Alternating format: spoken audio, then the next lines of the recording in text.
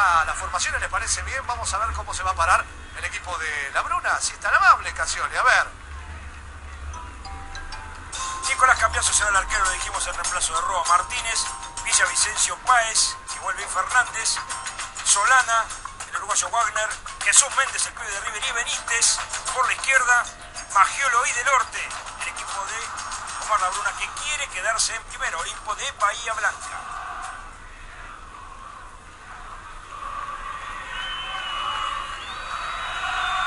Vamos a estar con la formación de Belgrano, que ha sido confirmada. Ya la tenemos nosotros. Obviamente se la vamos a invitar a todos aquellos que lo están siguiendo. Les digo, sin remeras, esos muchachos, Casioli. Increíble, ¿no? Bueno, la formación de Belgrano le parece bien. Muchos familiares de los jugadores también, ¿eh? Muchos familiares. También Santiago Montoya, nombre de renta de la provincia de Buenos Aires, hincha de ¿Pagó, todo usted? Yo pagué todo. Bueno, aprovechemos, le hicimos alguna consulta, ¿eh? Sí, ¿no? Sí, sí, sí. sí. Bueno, la formación, vamos. Montoya, el arquero de Belgrano, no sé, Pepino y Turús en el fondo. Manzanelli y Volati, los volantes de contención. Aymar un poco más suelto, junto a Riola. Los cuatro volantes del medio. Frangipane, el enganche. Matías Sigli y Campodónico para marcar goles en este equipo de Ramaciotti, Belgrano de Córdoba, que quiere jugar en primera. Señoras y señores, me parece ¿eh? que se viene Olimpo. Se paran todos en la platea. Se paran todos en la tribuna popular. Vamos a ver cuál va a ser el recibimiento.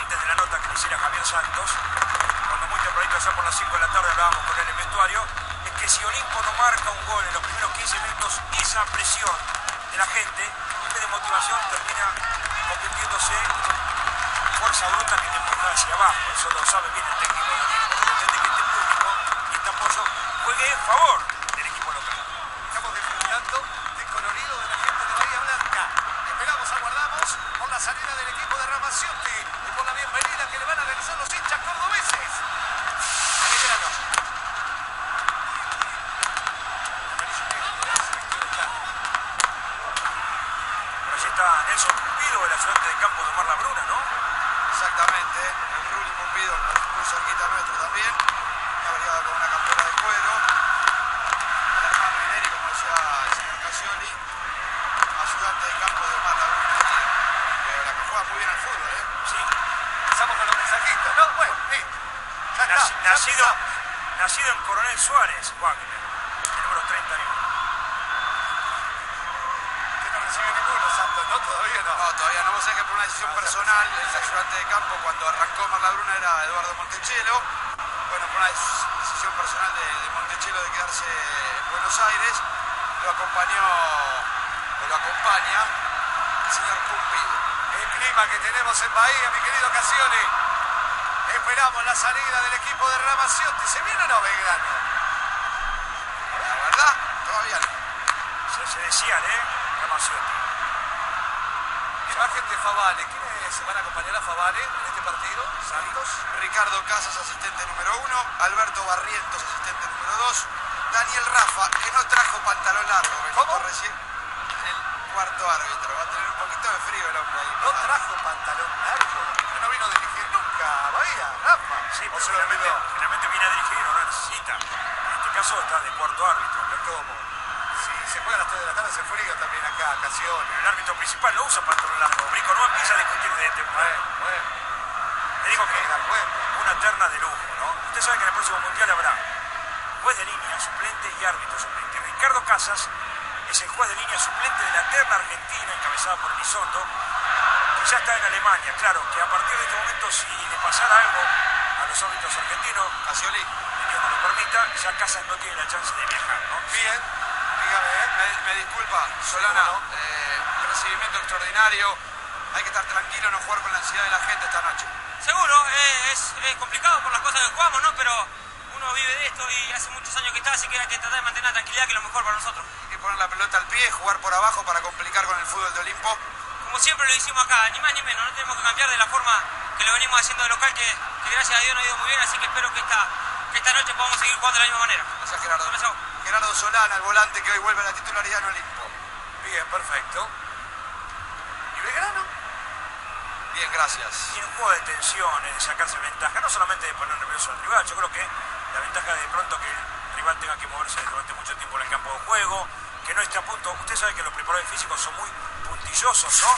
En el tiempo en el que calientan, logrando cambiar el aire los jugadores, pasar el ahogo, para después estar en el partido en los 90 minutos y en el arranque especialmente eh, preparados para un partido tan exigente como el que se viene. La imagen de los hinchas de Olimpo, ¿eh? Lo molesto de nuevo, ¿eh, señor Urico? No, no me molesta, por Bueno, favor, adelante. Estoy con un goleador tremendo que espera él, seguramente toda la gente en Bahía, que hoy pueda facturar. Ezequiel Mayolo, recibimiento extraordinario. eh, me imagino que también la cabeza puesta en tratar de facturar y anotar rápido. Sí, la verdad, la verdad. El recibimiento fue igual durante todo el año, la gente apoyó siempre. Y bueno, está todo el año resumido en este partido. Así que eh, no queda otra que ganar, ¿no? Hay que estar tranquilos y no jugar con la ansiedad de la gente que seguramente va a empujar desde el minuto uno desde afuera. Ni hablar, ni hablar. La gente siempre, siempre apoyó, siempre estuvo, siempre eh, nos entusiasmó a nosotros para que hagamos las cosas bien. Bueno, hay que, hay que devolverle todo ese cariño con, con una victoria hoy. Más allá de que sos goleador, hoy no importa quién haga el gol, hay que dejar a Olimpo en primera. Para nada, para nada. Hoy es una final y se tiene que ganar como sea. Gracias, Lechuga. Ezequiel Mayolo.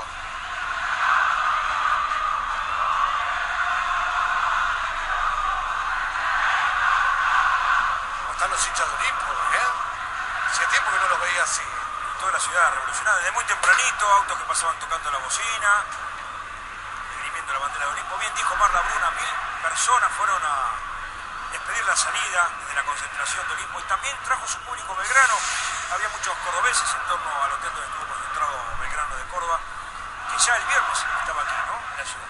Sí, señor. El fervor. Yo a mí me tocó este año venir con, el- con River, a hacer el partido que jugó River aquí. El fervor, el color que hay esta noche aquí, sinceramente no estaba ni siquiera en el partido con River. ¿Viste? Bueno, lo que pasa es que también hace Villamitre, ¿viste? Y eso hace que, obviamente, la gente se vuelca a la cancha. Ir a quedarse en primera división. Señoras y señores, se viene el equipo de Ramaciotti, se viene Belgrano, ya está en la manga. Hablamos con el familiar Pablo Campodónico, era hasta hace unos días arquero de Temple y hermano de Mariano, es uno de los que están presentes aquí en el Carminal.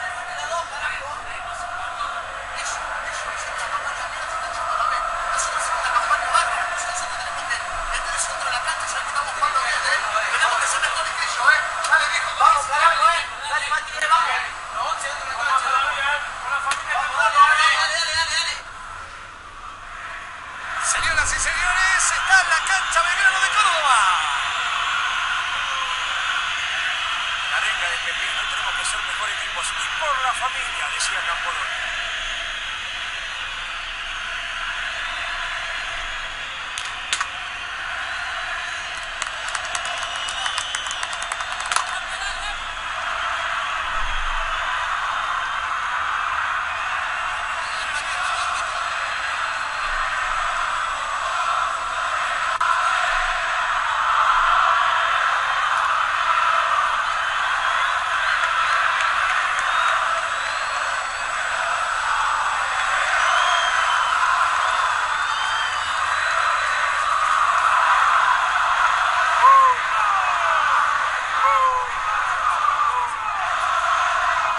No hace silencio para escuchar a los hinchas. Es una manera de que la gente en el living de su casa se sienta como en el estadio. Bueno, ahora sí, señoras y señores, se van a saludar los jugadores. La imagen de Faval y de los árbitros asistentes.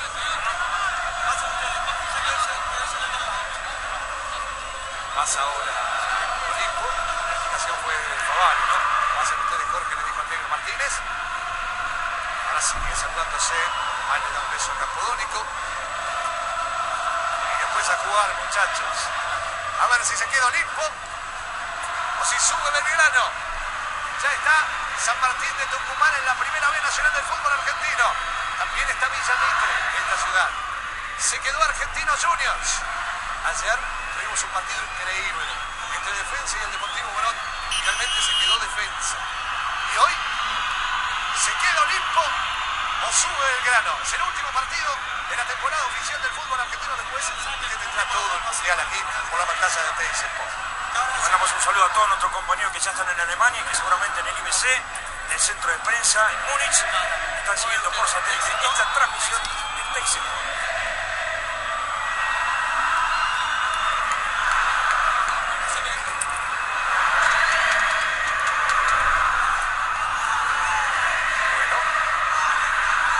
Estos serán los suplentes de Olimpo de Bahía Blanca, señor Santos. El 12 lo tiene Carlos Roa, 7 para Gustavo Pinto, 13 Máximo Lucas, 17 David Ramírez, 19 Ismael Blanco, el 9 Gustavo Saboya y el 29 para Hugo Costela. Vamos a ver Belgrano en esta primera parte.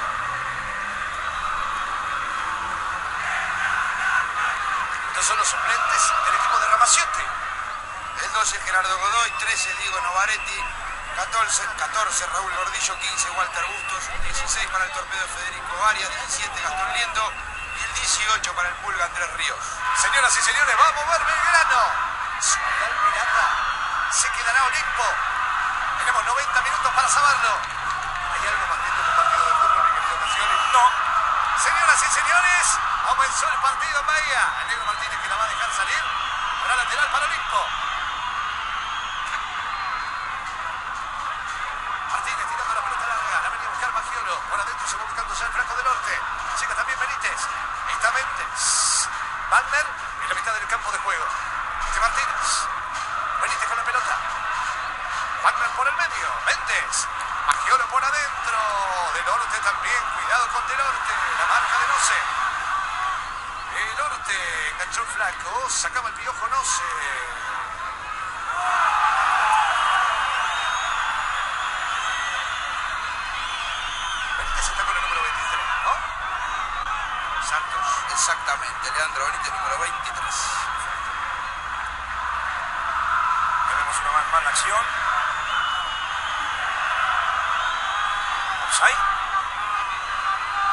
¿Eh?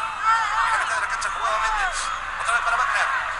Méndez que va enganchando. Lo dejaba en el camino a Francipane. Aymar que estaba presionando. Se viene el negro Martínez. Solana por afuera, por adentro va. Lechuga Magiolo viene también del norte. La esquina que favorece Olimpo. Intenta Olimpo controlar el encuentro desde el arranque, presionándolo a Belgrano sobre su arco. Benítez que la va a meter. Por adentro del norte. Yo lo sigo del norte. También está Páez, ¿no? También está Fernández. Villavicencio. Cuidado con Páez. Centro cerrado. Mira Montoya. La deja Campodónico. Fue Maes a buscar al primer palo. A donde muchas veces deben irse a buscar los goles de cabeza. Realmente que cuando se viene el doble cabezazo que desacomoda cualquier defensa, se puede marcar en otro lado. Pero con convicción hay que ir buscar el centro al primer palo. Montoya que la Por arriba la viene a buscar Campodónico. No pudo llegar. Devolución del negro Martínez. Sale Olimpo con Wagner.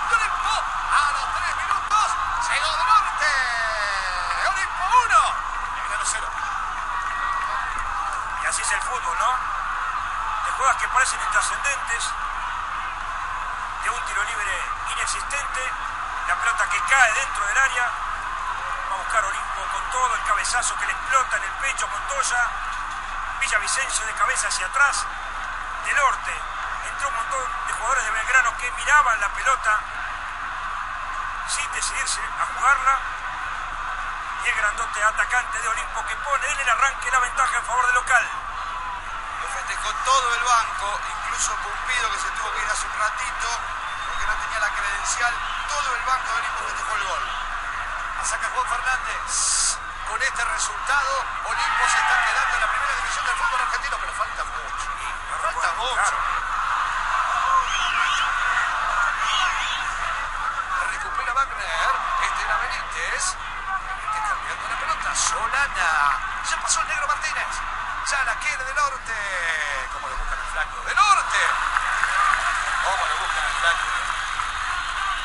Fue larga, la carta ganadora. Ahí va recién Favale a atender.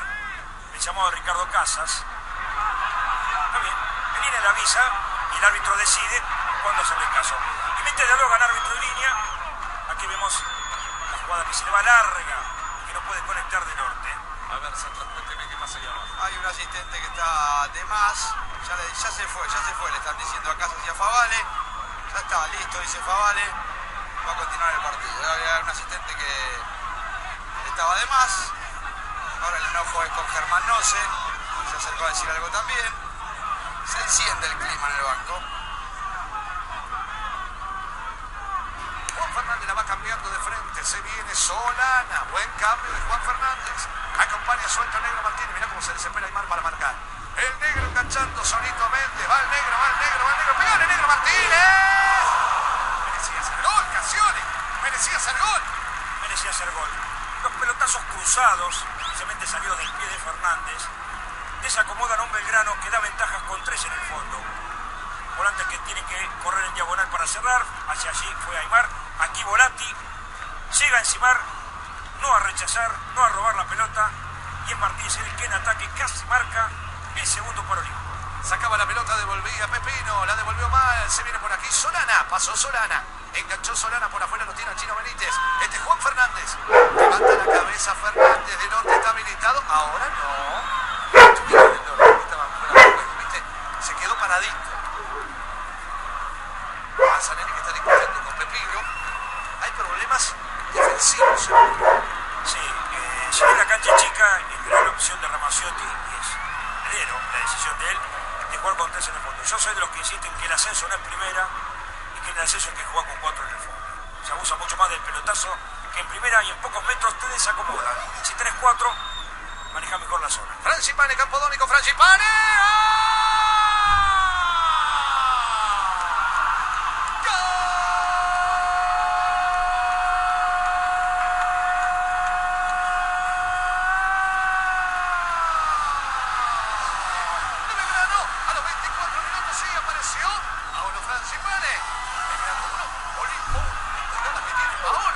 ¡Qué definición!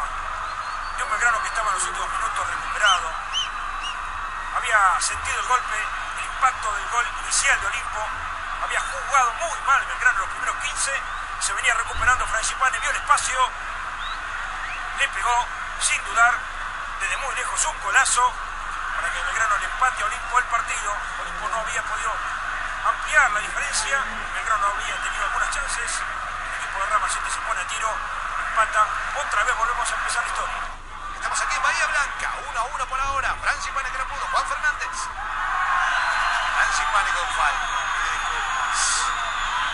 Es un jugador. Por eso Juan Fernández no le dice nada. Villavicencio, Páez de Norte y Magiolo, todos para buscar de cabeza. Se quedó ahora Juan Fernández. A ver, Benítez, el centro para del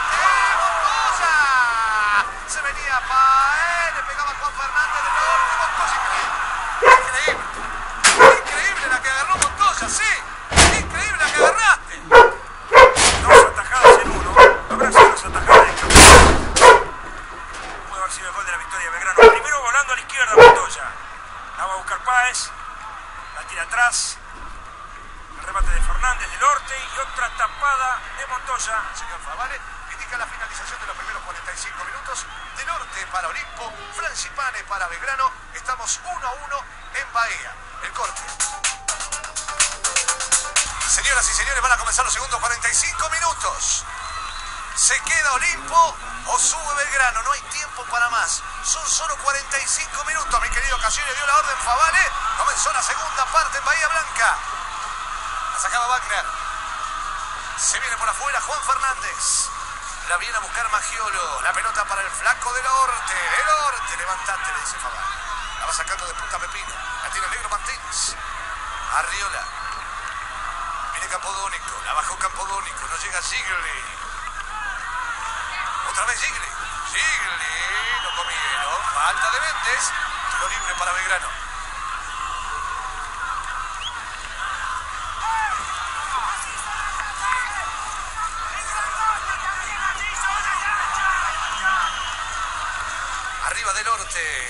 No llega.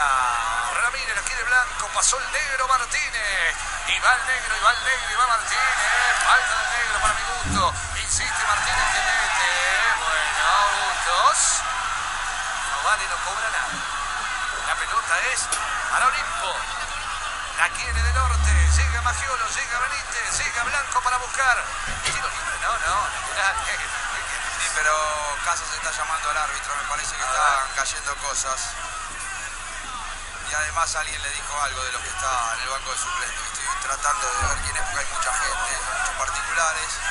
Expulsado, un expulsado, a ver. Si es un jugador suplente, si no, no le Sí. sacaría roja. Si no es jugador, no lo, no lo expulsa. A ver a quién está expulsando. Y acá están todos parados Me parece que a Gastón Liendo, me parece, es suplente de Belgrano del Córdoba. La gran Canigia hizo, ¿no?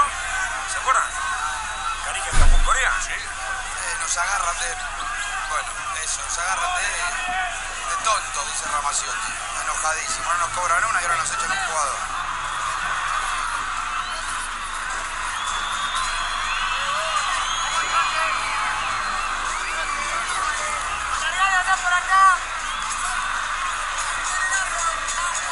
Paolo, Volati, Francipane, pasó por afuera Manzaneri y por adentro va Gigli, por adentro Campodónico, Manzaneri que llegó, Gigli, ¡ah!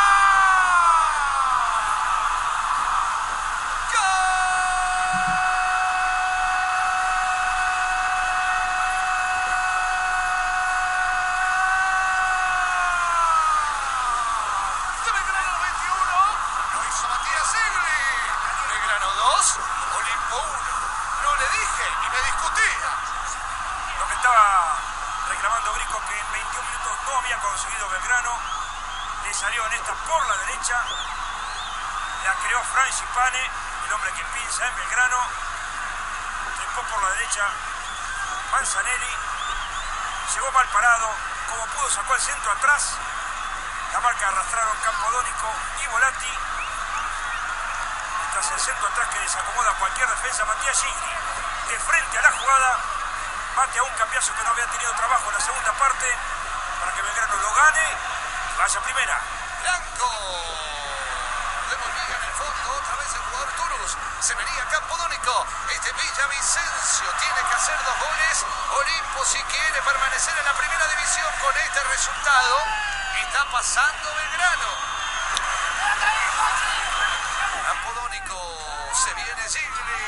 Matías. Solito por el segundo. Aparece Paolo. Lo liquida, lo liquida, lo liquida Belgrano. Lo liquida Paolo. Lo liquidó Paolo. Paolo. Paolo. Ah, no, Paolo. No liquidabas. Sí. Ramaciotti tiene razón. Se agarra la cabeza. Se acaba el partido, señores. De norte por adentro llega Ramírez, llega Blanco, llega Magiolo, llega Páez. También está Villavicencio, los 11 de Belgrano para defender. A ver, centro cerrado, llegaba Villavicencio. A ver si llega otra vez al área. Centro cerrado otra vez. Montosa, increíble. Montosa, increíble. Fenomenal lo de Montosa. Mirá Villavicencio, no lo puede creer. Pibe, qué pelota sacaste, por favor. Increíble. Un monumento por aquí, un monumento por allá para Montoya. Una pelota que parecía perdida, se metía. Benítez, otra vez Montosa, nuevo tiro de esquina que favorece a Olimpo que va, que busca empatar el partido, señoras y señores, le restan tres minutos, la sacaron. Sacaba Gigli, se viene Francis Pan, el nuevo lateral que favorece al equipo de la Bruna. Se desespera Benítez, por adentro va del norte. Lloverán los centros sobre el área de Montoya. Otra vez Méndez, rebota la pelota en busto, nuevo lateral que favorece Olimpo. Atacó mucho Olimpo, no atacó bien. Es cierto también que es difícil defender con tantas piernas dentro del área. De norte que la tenía, de norte, ahora sí el negro Martínez, dale negro Martínez. Sensacional, estupendo, brillante, Montoya, señoras y señores. Ya la figura del partido, Parece- el arquero de Belgrano. Parece Montoya el pato filiol de la década del 70. Martínez adelanta, le pega. 20 segundos finales. El último tiro de esquina. La va a meter Benítez, señoras y señores. Va a ascender Belgrano. 15 segundos finales. El córner y se termina. A ver. Martínez en el área. Llega del norte también. Señoras y señores, mira el cronómetro. Favale va a ganar. Belgrano de Córdoba. La tenía el Gordillo. Señoras y señores. Belgrano de primera.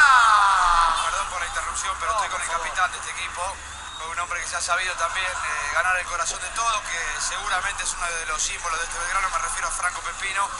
Desde el fondo hoy con tres, por este planteo táctico, por ahí con algunos sustos, pero finalmente ratificando la buena campaña de Belgrano que lo lleva a Primera División, Franco. Sí, sí, seguro. Eh, antes que todo creo que este plantel se merecía, se merecía una alegría de esa, porque hace, hace dos meses por ahí no peleamos por nada, tuvimos una remontada, un campeonato increíble.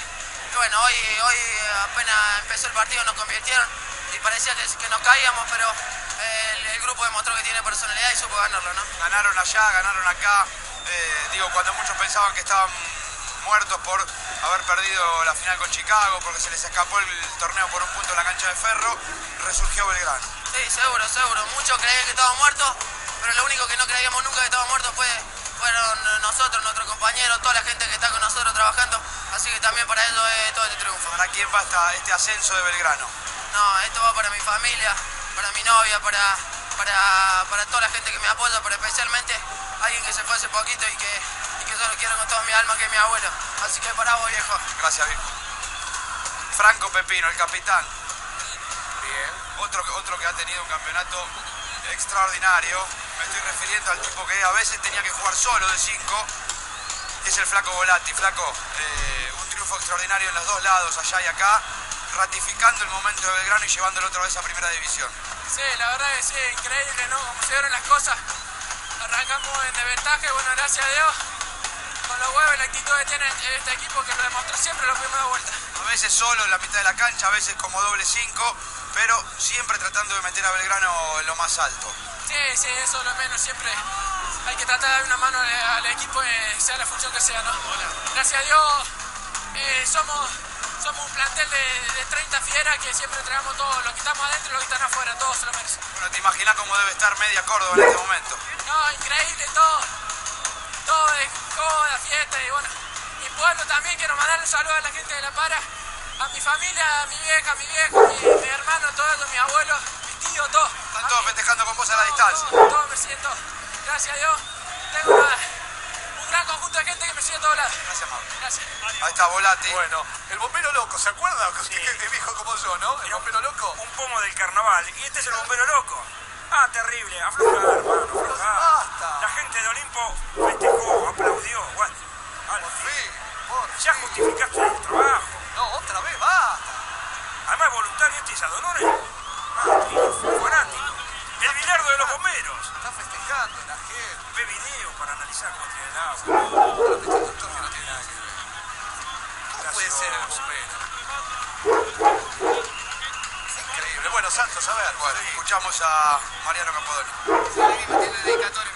Sí, para, para todos mis compañeros, para mi señora que, que hace un esfuerzo grande, para mis hijos que los llevo de acá para allá y, y le cuesta mucho. Así que para mi familia, para mi viejo, para todos mis amigos de Igleu.